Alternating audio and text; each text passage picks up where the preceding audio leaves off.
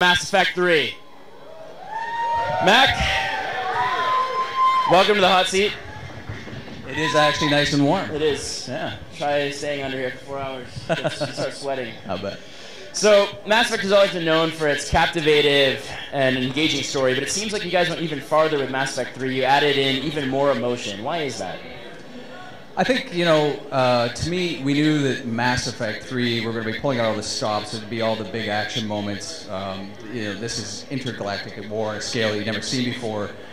But to me, as a writer, I wanted those big moments uh, to mean something, if, if not to uh, the characters in them, to Shepard, and hopefully also to the player as well, though. Um, and I think that's that's what takes something from being, you know, this big amazing moment to being something that's more than that, transcends, you know, action and becomes something that's memorable, something that you're, you is going to live with you for a long time. And I think to me that was just important. I mean, there are other aspects to it, but you know, that was a big big factor. No, I totally agree. Now, did you um, do anything different in the development side for the writing this time around?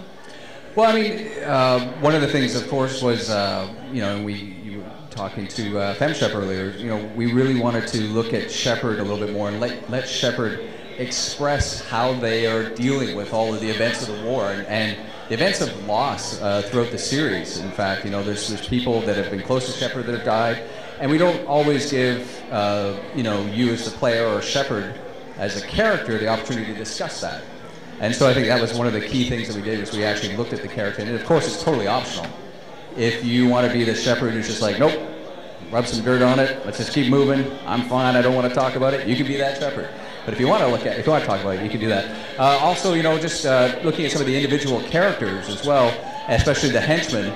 One of the things we wanted to be able to do was uh, really bring those moments alive and make them feel a little bit more dynamic. And Mass Effect 2 um, I think the, the relationships were awesome, but sometimes they, you know, were a bit um, uh, formulaic in the sense that you just go back to the same spot, you'd find your henchmen, you'd talk to them, advance the plot, and move along. We wanted to bring those alive a lot more, have them happen in locations, and have events that were going on that felt much more natural. So you might go on a date with someone, or you might go meet them off on the Citadel somewhere, and just talk about what's going on in their lives. Um, of course, the war is mostly what's going on in their lives, but there's a personal side to that as well. So just really just being more intentional about some of those moments was the big change for us. Now, you mentioned how, you know, obviously you can play it one way or another way, like 50 different ways. Yeah. Now, in fact, we actually had someone here earlier today um, who's a fan, you know, been waiting in line for hours, and, you know, he said the biggest thing he loves about Mass Effect is the fact that you can really do anything. You can be anything in the game. It really, it's your story. Now, obviously, that has to present a writing challenge. How do you guys handle that? Like, do you, I mean, you know, Raphael, so, um, you know, the guy who voices Kaidan was saying how, you know, he, he envisioned like a giant spreadsheet with lines going everywhere with every Yeah. choice. Like, how do you keep everything straight? Well, yeah, I mean, fortunately we have an amazing tool set that's uh, been created by amazing tools programmers, and it's all custom for us. It works, it does everything that we need to do to enable us to create all the branching narrative. But aside from that, too, I mean, if you look at Mass Effect 3, we're wrapping up a trilogy. We've got all these decisions that you know you could have made, or you might not even played the game before, and you might be a new player coming into this, and we had to account for all that.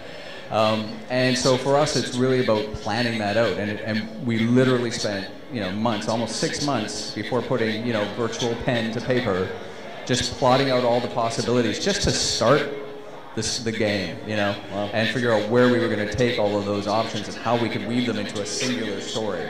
Um, so honestly, a lot of it just comes down to planning. And then once you're in there, it's just iteration and iteration and, and, and continuing to work at it. We, al- we also have other tools that allow us to, you know, for instance, track all of the different decisions that you can make as a player. Um, and those are invaluable to us as, as, as we're writing the game, so we can always go back and, and reference them. Now, one thing I noticed, though, you know, certainly in, in the most recent sort of trailers we've released and whatnot, we've kind of hinted at characters that have been from the, the comics and the novels. Was that the plan all along to sort of introduce these characters and then have them make their way into the games? Well, I, I think uh, you know once we realized that you know the, the the franchise is going to be popular enough that it would support novels, and there's there's going to be a love for the characters, not just in the game but in the novels. It made sense. I mean, uh, one of the first times we really did a, a true crossover was with uh, the Redemption comic with Liara, where you know you sort of started a story in this four series issue and then ended it in the Lair of the Shadow Broker uh, DLC.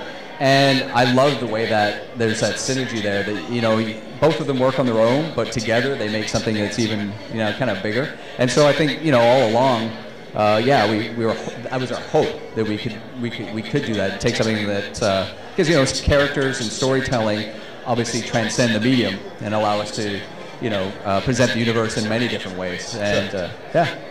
Now, being here and seeing kind of the line going, looping the block Yeah, yeah. here, Um, what's something you're going to take back about tonight to the guys in Edmonton? You know, um, whenever I come to these events, I was just I was just sitting there with uh, Casey and and uh, we were signing and talking to some of the uh, the fans. The thing that I love about coming to these events is talking to the fans. That's that's always what I take away from it the most is the passion that they have and. Uh, I think I don't know who I was talking to earlier. It's like you know, as as game designers, obviously we're passionate about what we do. We we love the job that we have, and when you come to something like this, or even you see it and hear about it, it's like the fans giving back some of that passion and and it, that feels uh, great as a, as a creator. And it's always one of the things that I enjoy most about coming to events like this, and certainly to this one, and just seeing all the the love that people have for the franchise, for the characters, for everything in it. And uh, yeah, it'll be uh, something that stays with me a long time. All right, and finally, when, what's something you want to say to the fans? You know, I I, uh, I hope you get in there. I hope you uh, try it uh, from a whole bunch of uh, different angles. Uh, I think it was uh, Chris Priestly the other day said something about uh, you know if you, even if you have an import, maybe try it as a non-import player. Uh, but whatever you do, um, you know, I hope you enjoy it. I hope uh, hope it stays with you a long time. I hope that. Uh, you know, we've created some memories here, and I hope that uh, those are memories you'll keep with you for a long time. All right, Mac Walters, thank you so much for talking to us. You bet. Thank you. We have a very special message.